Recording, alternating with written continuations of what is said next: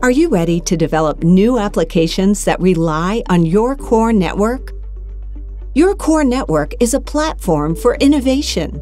It has programmability built in and can expose information to applications in a reliable and secure manner. Nokia's network exposure function abstracts the capabilities of your core network. Differentiating services can be created that improve customer satisfaction and increase revenues.